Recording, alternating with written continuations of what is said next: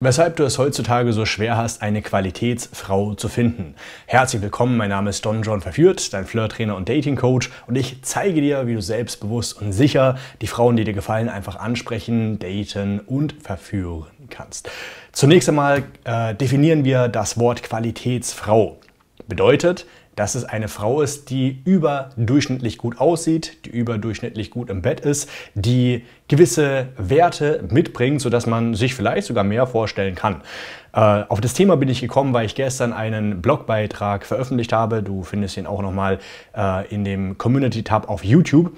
Und da gibt es zwei Qualitätslisten. Einmal für Frauen für kurzfristigen Spaß, wonach ich da so äh, aussortiere, die Frauen, und einmal eine Liste für Frauen, wenn du etwas Ernsteres eingehst. Und da ist mir aufgefallen bei den Kommentaren, dass viele Männer das genauso gesehen haben, auch besonders wenn du eine Frau für etwas mehr als nur Spaß haben möchtest, dass sie die Kriterien ähnlich, äh, also Frauen ähnlich bewerten wie ich, aber sagen, wo finde ich denn noch solche Frauen? Es gibt keine Frauen mehr. Einer hat sogar geschrieben, ich reise gerade um die halbe Welt, aber es ist echt schwierig, solche Frauen zu finden. Und da dachte ich mir, hey, perfekt, äh, dass äh, ihr mich darauf aufmerksam macht, denn ich werde euch in dem Video erklären, wo ihr denn heutzutage noch Qualitätsfrauen findet. Zunächst einmal ist es wichtig, wo du, dass du herausfindest, wo du keine Qualitätsfrauen findest. Und das ist zum ersten online. Warum? Weil online frag dich selber, wer geht online, welche Frauen machen Online-Dating? Tendenziell Frauen, die eher nicht angesprochen werden, die eher, ähm, die eher einfach nicht auffallen im Alltag. Oder aber Frauen, die irgendwelche Aufmerksamkeitsprobleme haben und die sich männliche Aufmerksamkeit holen. Und dort sind auch viele Frauen, die einfach auch, äh, also ich teste ja auch immer mal wieder Online-Dating, um zu schauen, was hat sich verändert, um so meine Feldstudien zu machen. Und da fällt mir auf, verdammt nochmal, dass diese Frau, die war doch vor vier Jahren, als ich die App genutzt habe, auch schon da.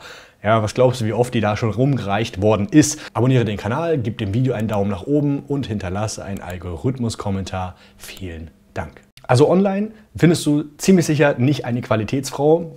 Also wir gehen jetzt davon aus, suchst eine Qualitätsfrau, sagen wir mal nach zwei, drei Jahren ausleben, willst du eine, mit der du etwas mehr anfängst. Oder du bist generell so ein Typ, wie eine meiner Coaching-Teilnehmer auch letztens mir äh, das geschildert hat, dass er sich ein bisschen ausgelebt hat, verschiedene Frauen kennengelernt hat und jetzt so einen kleinen Harem von drei Frauen ähm, äh, aufgebaut hat, die, mit denen er mehr äh, teilt als nur das Bett, aber die auch überdurchschnittlich gut performen im Bett, aber auch so von der Grundstimmung und so weiter und so fort. Also halten wir fest, online findest du sie nicht. Du findest diese Frauen auch nicht auf Festivals und in Clubs. Natürlich gibt es immer irgendjemanden, der sagt, ey, ich habe da aber meine Traumfrau gefunden, wir haben jetzt geheiratet und toll, schön für dich, aber die Wahrscheinlichkeit ist sehr gering, dass du da eine Frau findest, die, ähm, die gewisse Werte äh, teilt, die du auch teilst und mit der du etwas mehr dir vorstellen kannst. Ja, zum Beispiel sollte sie keinen hohen Bodycount haben. Ja? Weniger als 10 ist gut, besser ist weniger als 5. Sie sollte ähnliche äh, Grundwerte haben, sie sollte ähnliche Hobbys haben wie du, sie sollte sich gut führen lassen. All solche Dinge findest du in Clubs eher selten.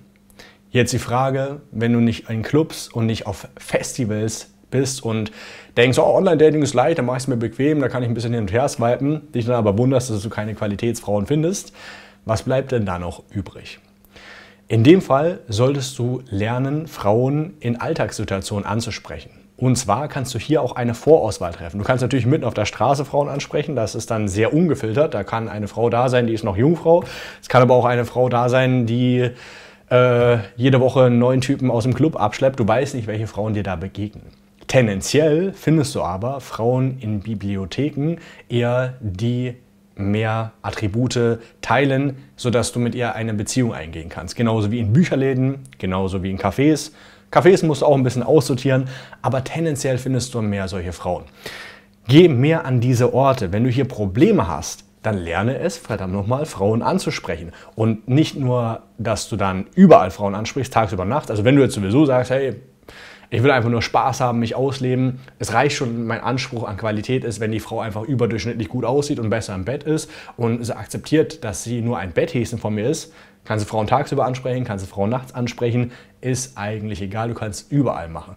Wenn du aber gezielter nach einer bestimmten suchst, dann geh eher an Orten, wo etwas gebildetere Frauen sind. Muss man aber auch aufpassen in der heutigen Zeit, weil in diesen ganzen Universitäten werden die die neuen Generationen eher verbildet. Ne? Das ist ja eine politische Agenda dahinter in vielen Universitäten, die nicht unbedingt neutral ist und die dir dann irgendwas vom Pferd erzählen, wo du weißt, die leben im Elfenbeinturm, das hat nichts mit der Realität zu tun. Also selbst bei gebildeten Frauen, in Anführungszeichen, musst du aufpassen, dass du da nicht auf die Falschen triffst.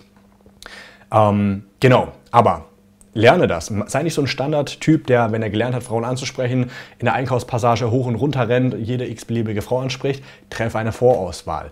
Wie ist die Frau auch gekleidet?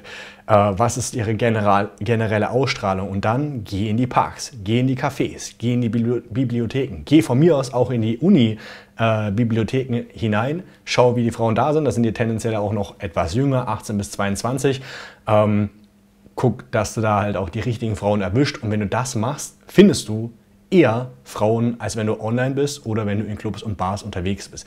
Punkt zwei, warum du keine Qualitätsfrauen findest, ist, weil du selber noch kein Qualitätsmann bist. Sorry, dass ich dir das so sage, aber diese äh, Sache müssen wir auch mit einbeziehen, wenn du auf der Suche bist nach einer Qualitätsfrau, diese Qualitätsfrau aber nicht findest. Das heißt, was kannst du an dir selbst verbessern? Ist es vielleicht, dass du ein bisschen gepflegteres, ein gepflegtes äußeres Erscheinungsbild an den Tag legen kannst? Ist es, dass du dich vielleicht besser artikulieren kannst? Ja, wenn du äh, gebrochen Deutsch redest oder immer wieder die Silben, äh, die, die Wörter verschluckst, ist es vielleicht nicht so gut. Ja, dann arbeite daran und schau, dass du äh, dich gut, nicht nur gut artikulierst, sondern auch, dass du weißt, dass, äh, was, über was du mit Frauen reden kannst. Ja? Dass du auch immer zu irgendeinem Thema, was die Frau sagt, was beisteuern kannst. Dass du genau weißt, wie du ähm, ein Mann von Wert wirst. Hierfür ist natürlich auch interessant, dass du selber weißt, was ist deine eigene Qualitätsliste. Ne? Wenn du einfach jede Frau, x-beliebige Frau nimmst und gar nicht vorfilterst, dann brauchst du nicht wundern, dass du keine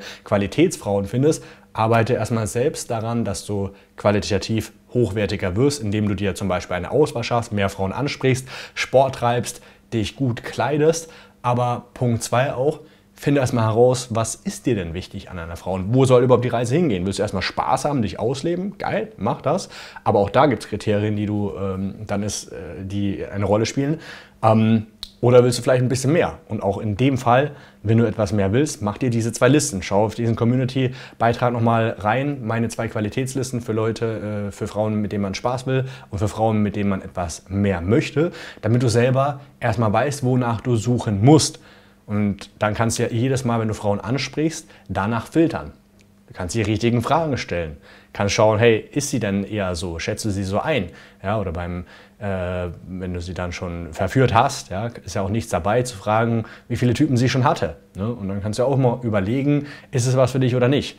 Hier musst du auch aufpassen, viele, äh, also Männer, die addieren immer gerne 10, 20 Frauen und die Frauen, die ziehen immer gerne ihr, die Anzahl der äh, der Typen, mit denen sie im Bett waren, die ziehen da immer ein bisschen was ab. Aber auch da, wenn du ein bisschen erfahrener bist, wenn du gute Menschenkenntnis hast, wenn du gute Verführerskills hast, dann findest du es relativ schnell heraus, ähm, ob die Frau die Wahrheit sagt oder nicht. Oder dass sie sich nicht schlecht fühlen muss, weil viele Frauen sagen dir deswegen nicht die Wahrheit, weil die denken, du stempelst sie dann ab. Wenn du aber von vornherein so subkommunizierst und ein lockerer, cooler Typ bist, dann haben die da weniger ein Problem, dir da irgendwas vom Pferd zu erzählen.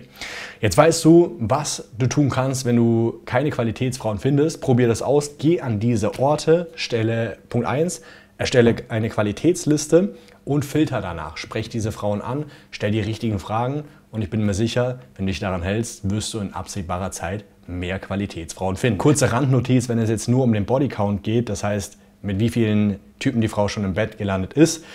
Du musst nicht um die halbe Welt reisen, ja, um da Frauen zu finden.